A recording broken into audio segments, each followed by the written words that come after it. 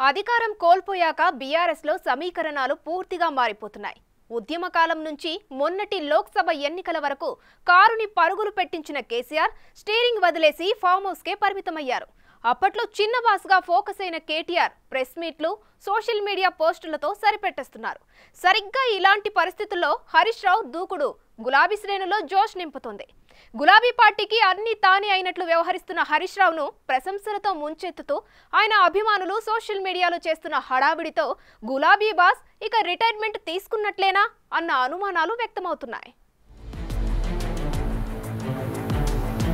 పాడి కౌశిక్ రెడ్డి ఎపిసోడ్లో నేను సైతం అంటూ ఎంటర్ అయి సైబరాబాద్ సిపి కార్యాలయం ముందు ఆందోళన చేసిన తన్నీరు హరీష్ రావుని పోలీసులు అదుపులోకి తీసుకున్నారు. ఆ టైంలో జరిగిన తోపులాటలో ఆయన గాయపడ్డారు. సదరు వీడియో ఇప్పుడు సోషల్ మీడియాలో హల్చల్ చేస్తోంది.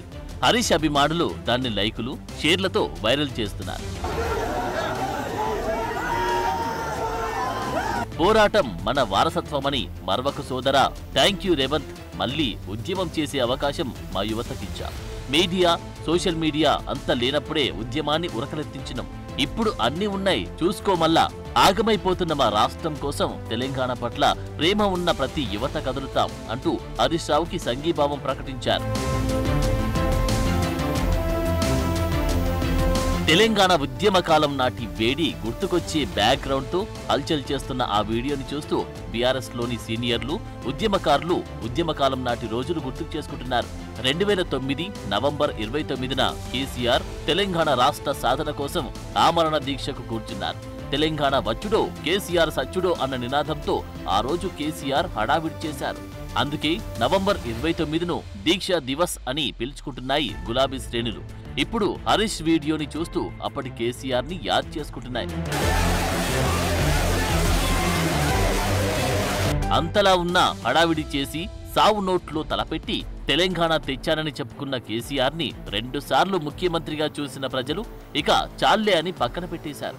తెలంగాణ జాతిపితగా తన అనుచరులతో పిలుచుకున్న కేసీఆర్ ఆ పరాభవంతో కారు స్టీరింగ్ వదిలేసి ఫామ్ హౌస్లో సెటిల్ అయిపోయారు. గులాబీ పార్టీ అధికారంలో ఉన్నప్పుడు అటు పార్టీలో ఇటు ప్రభుత్వంలో నెంబర్ టూగా కేటీఆర్ చక్రం తిప్పారు. నెక్స్ట్ సీఎంగా పార్టీ నేతలు ఆయన్ని ఫోకస్ చేసుకున్నారు. కేసీఆర్ కూడా తన తనయుడికే ప్రాధాన్యత ఇచ్చారు. అప్పుడు మామచాటు అల్లుడిలా ఆయన అప్పగించిన బాధ్యతలు నిర్వర్తించుకుంటూ వచ్చారు హరీష్ రావు. ఇప్పుడు బీఆర్ఎస్లో హరీష్ రావు శకం ప్రారంభమైనట్లు కనిపిస్తోంది. పార్టీపై గ్రిప్ కోసం స్పీడ్ పెంచుతున్నారు. వ్యూహాత్మకంగా అడుగులు వేస్తూ పార్టీలో కేసీఆర్ కేటీఆర్లు గుర్తుకు రాకుండా దూకుడు పెంచుతున్నారు. కేసీఆర్ లేని గ్యాప్ పూడుస్తూ హరీష్ రావు ప్రతిపక్ష నాయకుడి పాత్ర పోషిస్తున్నారు. దూకుడు ప్రదర్శించడంలో కానీ వాగ్దాటిలో కానీ హరీష్ రావుతో కేటీఆర్ పోటీ పడలేరని బీఆర్ఎస్ నేతలు చెబుతుంటారు వీధుల్లోకి వచ్చి పోరాటాలు అంటే హరీష్ రావుతో కేటీఆర్ పోటీ పడలేరన్నది నిజంగానే వాస్తవం.